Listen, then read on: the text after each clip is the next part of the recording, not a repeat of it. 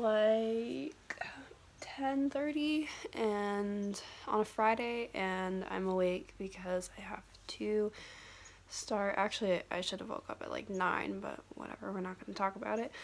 I have to start setting up for my video. By the time this is uploaded, you'll already have seen, hopefully you've already seen, my um, July plan with me.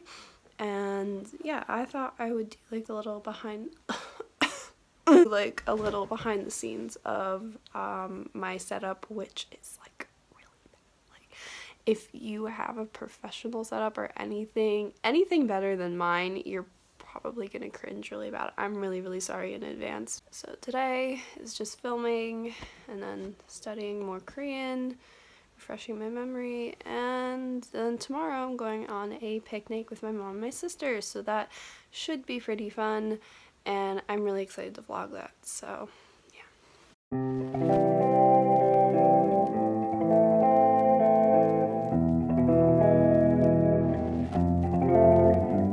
So basically it's in front of my window in my bedroom next to my beautiful little plant and light setup there and it's my tripod against the window and this is the coffee table from my living room.